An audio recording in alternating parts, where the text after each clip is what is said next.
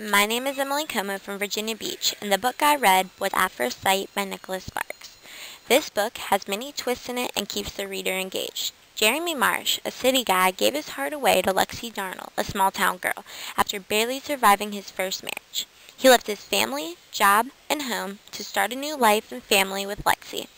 Everything seems to be going fine until Jeremy gets these mysterious emails that test the strength of their love. After working through the doubts and fears, they became newlywed. Just when things seem to be as good as ever, an unexpected event occurs. The emotion that can break your heart is sometimes the very one that heals it. If you love romance books, then this is the book for you.